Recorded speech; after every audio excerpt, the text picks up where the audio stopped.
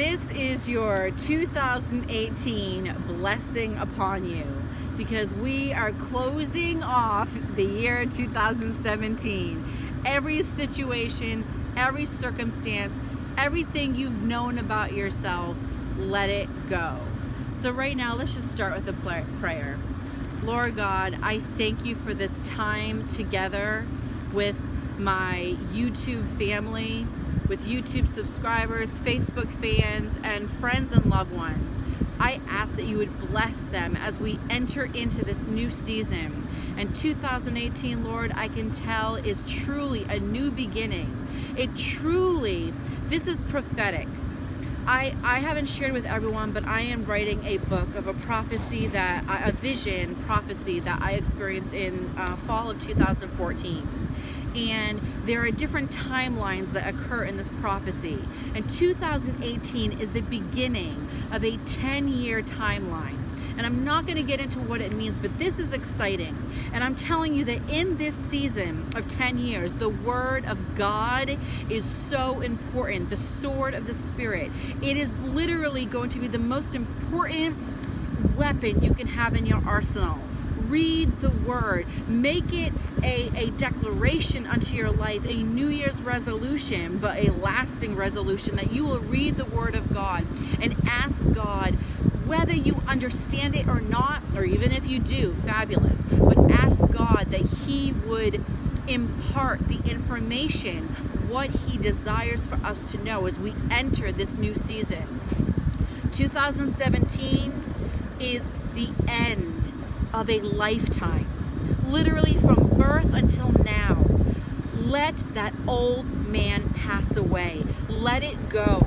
We talk about dying unto self, taking up our cross, crucifying the flesh.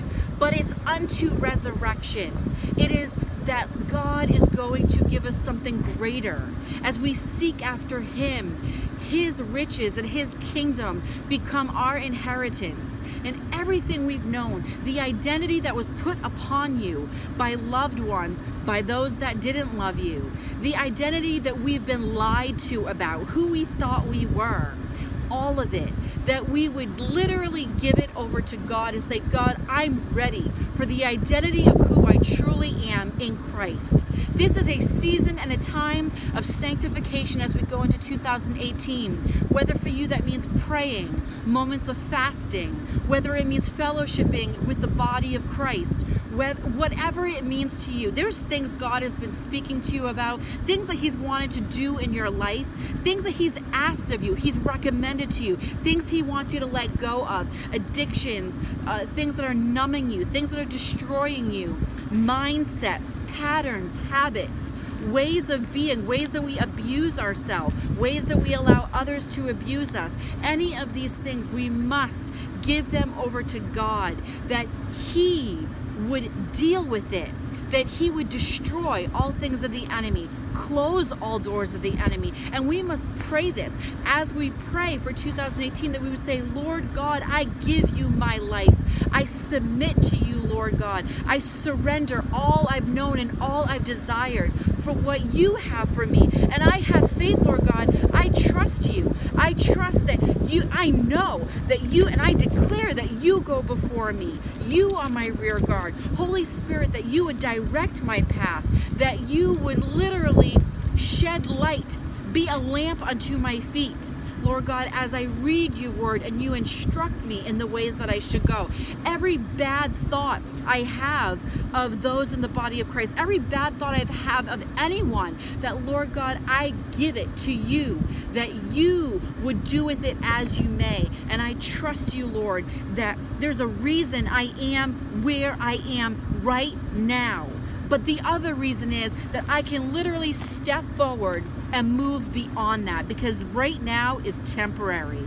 Literally, the, the ground I stand on is temporary, but He is everlasting and He has a way for you that is beyond our understanding.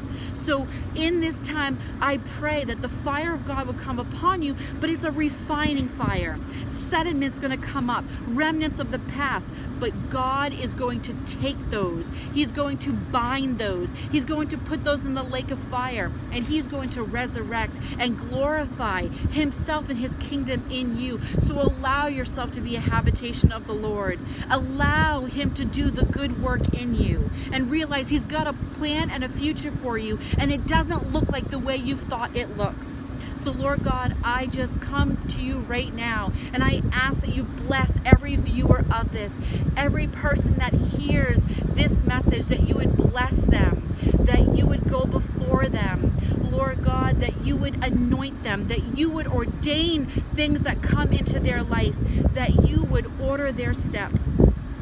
Lord God, I thank you. I thank you for this message. And this is a time of true deliverance, true resurrection, true recompense, and a new beginning. Walk in his footsteps, and he will give you all that you need and require. May you be truly blessed. Shalom upon you, a healthy year, but walk in his health. Be not of the world, be not conformed to the world. And that Lord would give you discernment between the two. Hallelujah, hallelujah, for He is with us and He has a mighty future for all of us in His kingdom. And His kingdom is now, it is here. Let us usher in that kingdom in every way. In every way. God bless you in Yeshua's name.